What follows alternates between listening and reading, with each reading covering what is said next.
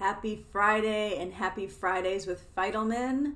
Today's topic on Fridays with Fidelman is Love is Peace and Nothingness.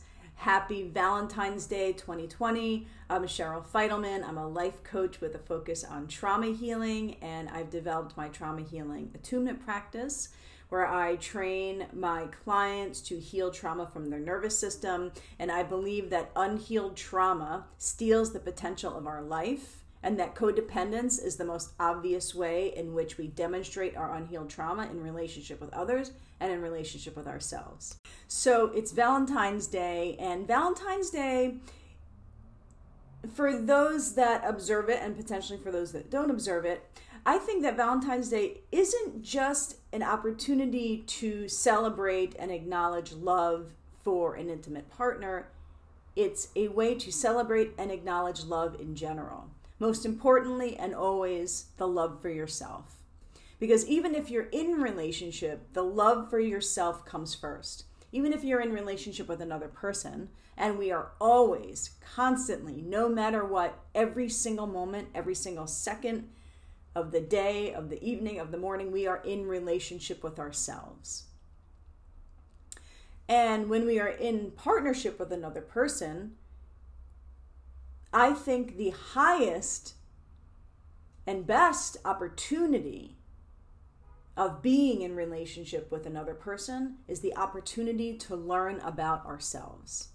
And in any relationship, again, with another person or with ourselves, I think it's always the greatest gift to give yourself and or another person give them the gift of never really landing in knowing right? Like you're always getting to know yourself and you're always getting to know somebody else.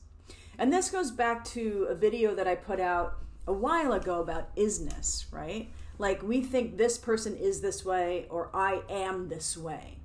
We are always moving, evolving, growing, and changing. So once we think this person is this way and we're relating to them as if they are that way, like they're not a moving image, then we think we know and we can't sort of hang in the not knowing. It's like giving somebody the gift of seeing them as constantly growing and morphing, and giving ourselves the gift of seeing ourselves as constantly growing and morphing. Now, the reason why I point to love is nothingness in the in the title of this video is because the greatest access to experiencing love is actually being able to sit in nothingness. Now, if you're in a relationship and there's things you've swept under the carpet, there's things you're overlooking, there's things you're ignoring, that's not being in relationship with somebody where there's nothing in between you. When there's nothing, what can fill the space is everything. And I know that sounds cliche, right? Like, you know, love is nothing and love is everything. Well, what is everything? It's a great question. What is everything? So I'm going to look at everything as light and beauty and growth and transformation, okay? When there's something in the space, things can't grow. Like, for example, if you plant um, um, I like to garden, so if you're planting vegetables or you're planting, planting flowers, if you're planting a tree or a bush, if you put the roots in the ground and then you put rocks in between the roots, it can't grow. Actually, those roots need space in the dirt some of them actually need, like the directions will say, six inches between plants or 12 inches between plants because things need space. They need openness. They need breath. They need room to, to sprout. Okay.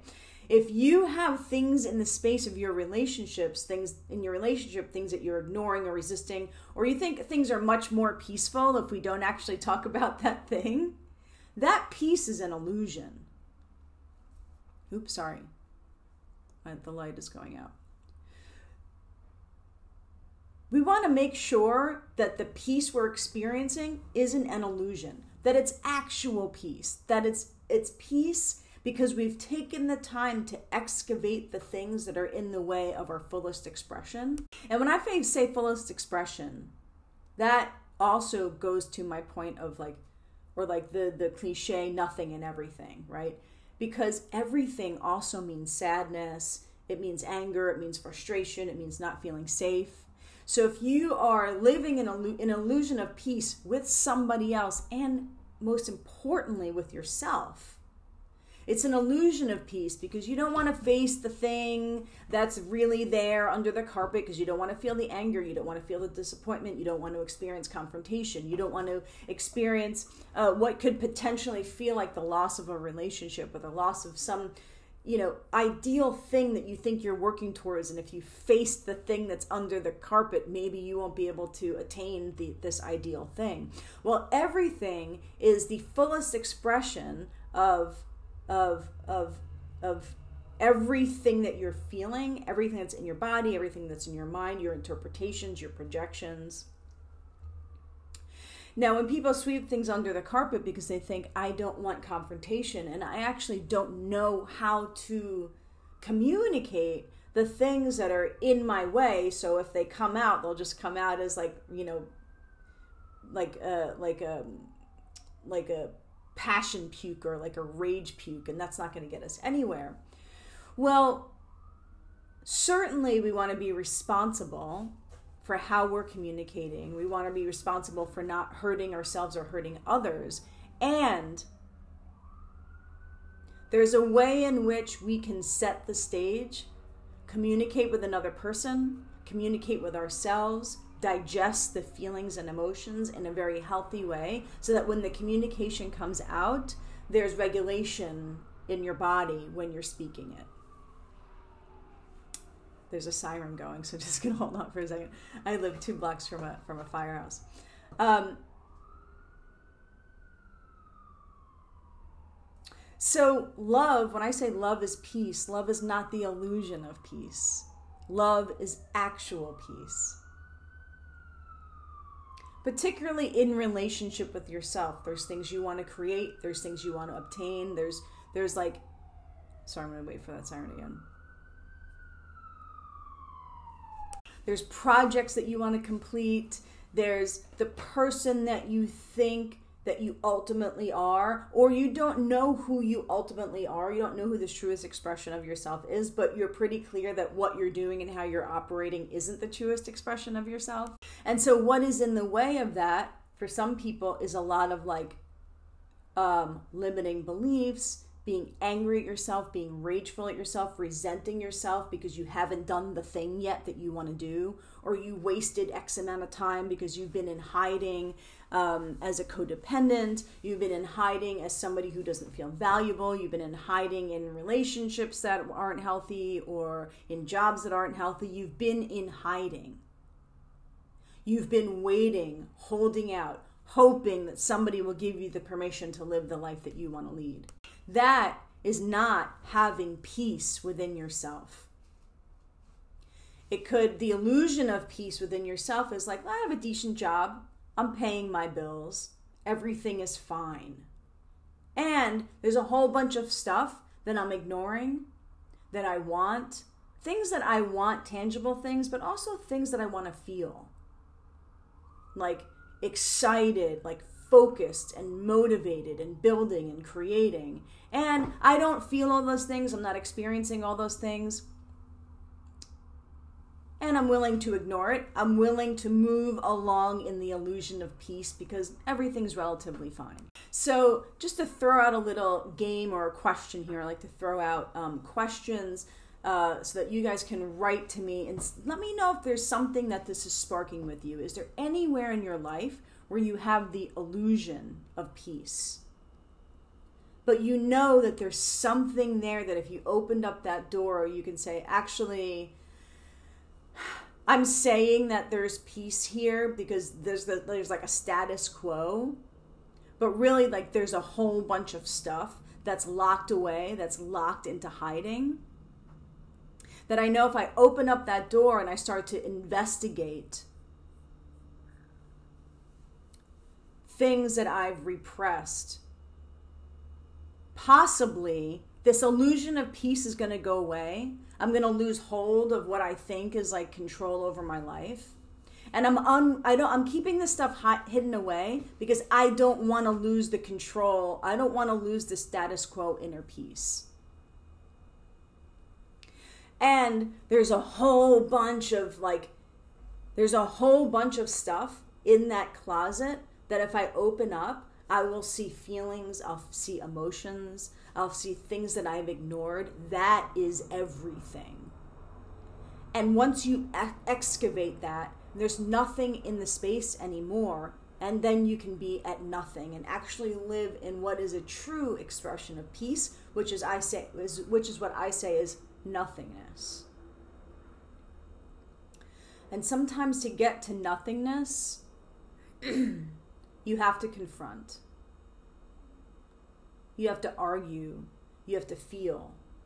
And it doesn't always have to be like crappy feelings. It could be super happy, elated feelings as well. Some people avoid feeling super excited and super elated and super in love because they because they're afraid of that's like an illusion like having some high or manic feeling is is an illusion. Or if i let myself go that high that means that there's too far to drop once i'm disappointed. So i'm going to stay in some monotone version of life. What would you have to expose to yourself and or to another person to actually move through everything and actually get to nothing? What would you have to expose? What would you have to admit is there in the space that you're ignoring? What would you have to potentially be willing to lose? And you know, we always think that the losing is another person. I'm going to lose uh, my partner, or I'm going to lose my job, right? I'm going to lose something external to myself. Most importantly, always, it's the relationship with yourself. And potentially, what you're going to lose is the illusion of safety that you have. You're going to lose the illusion of comfort. Potentially, what you're going to lose is the comfort and habit of being in a medium vibration of life.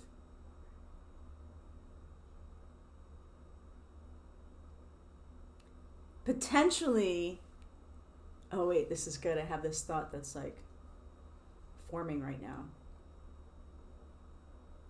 Potentially, what you are going to lose is a consistent, um,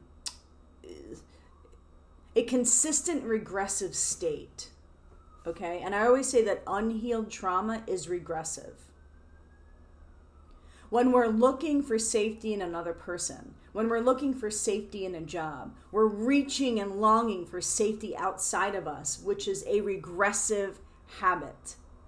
That's what we did when we were children. We looked for safety and protection, um, and and like figuring out what's real. Where can I land here? Who's gonna see me? Where can I be vulnerable? I'm not quite sure. All of those questions are regressive questions. How many relationships do you have, intimate or otherwise, where where there's just stuff swept under the rug. Maybe you don't even talk to the person anymore and you just don't want to face why or you don't want to face them and tell them why. Tell yourself why. I didn't feel safe in that relationship. My trust was broken. Um, I projected my needs onto them. I needed them to provide something specific for me, and they didn't provide it for me. We want to keep looking at how we can take responsibility for our, for our lives and how we move through life. And since I focus on codependence, um, a lot of uh, what I work with are people who who attract narcissists, right? So when the codependent has what I always say three pillars of codependence the want to be wanted, the need to be needed, and or the need to prove oneself. When a codependent attracts a narcissist and they and it's it you're you're hooked in a pattern of whatever you need i will provide it because i'm the one who needs to be needed then you are consistently in a regressive state and it's hard to look at it and take responsibility because it's like the word narcissist is such a huge like intense word and i don't like to look at it as as narcissistic personality disorder because i'm a life coach and i'm not a mental health professional professional, and I believe that we all have narcissistic traits on some level. Um, so, you know, and also referring to the video I put out last time, which is that codependence on some level has narcissistic traits. Because we're projecting our needs and our wants onto somebody else and we're hoping that they want us in the way that we want us and will like move and contort in order for us to have the experience of feeling wanted. So, codependence is also a way of projecting our needs and wants and having those needs and wants rule the relationship. Like we're projecting our own reality into a relationship. I'm digressing a little bit, and I'm still pointing to regressive states. Codependence is a regressive state, which is the demonstration of our unhealed trauma from our childhood. And when we put things under the rug because we want to stay in this illusion of peace, that is also a regressive act. Because when we were children, we had narcissistic parents, or we had, um, you know, there's there's covert trauma that was just super obvious events or a, event or a series of events. I'm sorry, overt trauma super obvious events or a series of events. And then there's covert trauma where we just slowly over time were not recognized as children. Slowly over time, our parents were in their own reality, not noticing ours and we weren't able to say we didn't yet have our voice developed to the extent where we can say hey mom dad and or guardian can you notice me? Hey mom dad or guardian i don't feel safe here. Is there something we can do about this? Or you said this thing to me and it really hurt my feelings and i would like you to hear me and listen to my feelings. Or i would like you to not do that thing again that hurt or I'm actually really not comfortable in this household. I would like to leave, please. We don't have the voice to say that. And for a lot of us, if we ever did say it, then it got us in even more trouble. So, sweeping things under the carpet, living in an illusion of peace, is also a regressive act. It's a regressive survival technique. Uh, you know, um, just a quick example from my own life when uh, you know my mom uh, my childhood was just a big domestic violence scene. And it was my mom who abused my dad. My dad left when i was six because she almost killed him. Um, and i i think i've explained that described that story uh, several times and i'll go into it again at some point but for the sake of time um, he left because his life was in danger. And he would always ask me when he left, How's everything going at home? And I would say, Everything is fine. Now, that totally wasn't true because what my de- mom did to my dad when he left, my brother and I were the target. You know, it was us that got that kind of domestic abuse, uh, minus the, you know, the, sure there was a category of sexual abuse that happened with my well, I'm, I'm, I'm not sure. I know that there was there was also sexual abuse with my mom and my father. But so minus the sexual stuff, my mother abused my brother and I very similarly to the way she abused my dad. So he was out of the picture. It turned on us. I always told my my dad was always like, "How's it going at home? How's it going at home? How's it going at home?" And I was always like, "It's fine. Everything's fine. Everything's fine." And when I turned uh, 17 or 18 and I was going away to college, uh, or, or like I remember on the, I remember I went away to college and I was failing. Like I was doing horribly my first year. And I wanted to go back. And my dad was like, why do you want to go back? You're, you're doing really bad. You're failing. And I said, there's no way that I'm going to go home to mom, you can't pay me enough. And and he said, why not? And I and I was like, it's it's you know it's it's just a horrific scene there, and I'm done with her. And he said, I, I don't understand. You've been telling me your whole life that everything was fine. And now, 10, 11 years later, you don't even want to go back there. So I had some resentment over my life with my dad. Like, how could you leave us with our mom? And at the same time, in his mind, he was like, "Oh, you've been telling me everything's cool. How, how you know? How would I know that?" Another layer of it is that I wanted him to know anyway, even though I was lying to him and telling him everything was fine. Um, that's another piece of my of my trauma. Um, and I just kept giving the illusion that everything was fine. That is the illusion of peace that we take into our lives that is part of our unhealed trauma. And there's so much protection there, right? Like I was protecting my mom, I was protecting us, because what if my dad knew everything wasn't fine and he would take us out of the house, or so much protection, right? So much keeping, like like telling him everything was fine was an act of keeping everything copacetic and being in control of everything and just you know like not not um you know just not uh, creating any fires anywhere and it was an illusion i was lying and everything was cool right like i had everything handled at home i could deal with the abuse i had figured out how to survive it um and we had fun moments. And that's the other thing when there's an illusion of peace, it's like, well, you know, there's good moments, there's good times. I have good times in my relationship. I have good times in my relationship with myself. I have good times at my job.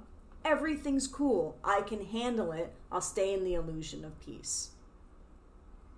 And just keep ignoring everything that I've swept under the rug and ignoring the parts of myself that are in continual contraction of holding this stuff under the rug because I'm used to it. I'm used to the holding, I'm used to the ignoring that stuff. I'm used to it. I'm cool. That's the illusion of peace. And what is on the other side of trauma healing, what is on the other side of letting go all of the stuff that you are holding on to. You don't even kind of feel it anymore because you're so used to just holding it in a secret box. On the other side of releasing, examining, communicating, all of that stuff, of course, moving through it may be difficult. What's on the other side of that is nothingness. The strength, power, clarity, space to grow and sprout with absolutely nothing impeding your expansion. So, um, those are all my thoughts. I wanted to read a poem um, today because it's Valentine's Day, and I think and and just to bring back the purity and innocence that is that is intrinsic in true peace and nothingness and love for another person, and most importantly, for yourself. Here's the poem. It's called um, I might not be looking at you because I'm I'm also reading this poem.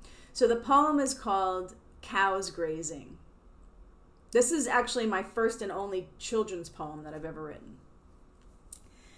Look at all the cows grazing with no comparative thoughts like her spots are bigger than my spots. My udders or are more saggy. My udders are more saggy than her udders. Look at all the cows grazing, with no thoughts of their body image or how they're going to attract a bull. I'm prettier than her. That bull wants her, not me. Look at all the cows grazing with no thoughts of how much money they make or where grass comes from, with no thoughts of how smart they are or, or what they forgot to do today. Just grass. Just eating grass. I would like to eat grass. Look at all the cows grazing, with no thoughts of I. I am cow. I am pooping. I will poop here. Out in the open, for all my suitors to see, I will poop here. Look at all the cows grazing with no thoughts of I. I could be afraid. I can defend. I can feed my calf out in the open amongst my community. Hmm, I wonder how much time I have left here to graze. Nope, just pooping. Look at all the cows grazing. Thanks for listening to my poetry. Thanks for listening to this video. I've created a, a, a, a mantra for my work. Um, I've created like a mission, and I want to share that with you. Training codependent people to heal their own trauma with my attunement practice so that they can come out of hiding and return to who they were born to be is what I do. Standing for the eradication of trauma from the human condition by healing one nervous system at a time is who I am. All right, happy Valentine's Day. I have a Valentine's Day special. The link is in the email that you received, and it's also uh, in the description of this vi- YouTube video. So it's um, you get two summits, my two summits from 2019. Uh, the first one is Trust Yourself, Transform Your Codependence. Uh, the second one is Trust Yourself Again, Heal Your Trauma and Be the Real You in Sex, Family, and Money. It's 34 interviews plus a uh, uh, trauma healing attunement ses- session where we'll really, uh, really start the ball rolling, seeing what state your nervous system is in as a result of your unhealed trauma. It's $97 for the next 48 hours uh, until Sunday evening, midnight Pacific time. So go ahead and um, you have unlimited access, lifetime access to 34 interviews. Um, and when you book uh, within 24 hours, you'll get the summit um, uh, links and passcodes, and then you'll get the booking link to book your session. All right, everybody. Couple of things. Be awesome on purpose Life is now. Happy Valentine's Day. Love is peace and nothingness with other people, and most importantly, first and foremost, with yourself. Happy healing. Have an awesome weekend. Bye, everybody.